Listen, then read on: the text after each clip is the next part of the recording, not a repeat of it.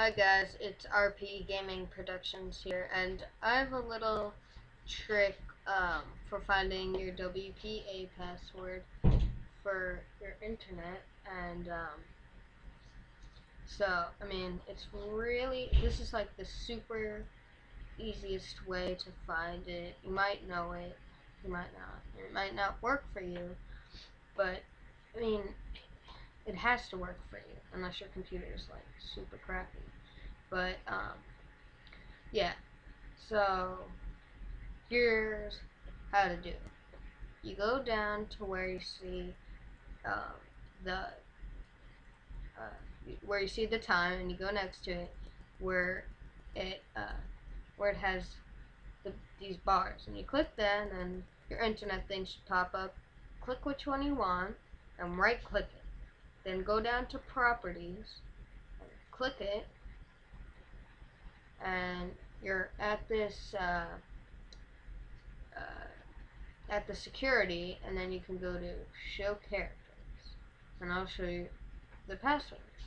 And I mean, we can count together: one, two, three, four. That's four clicks, and you have your WP PA password.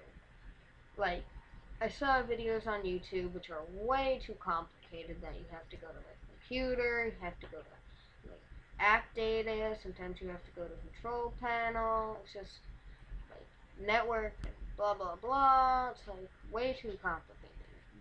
This one, go down here, go here, properties, and you have your password super easy.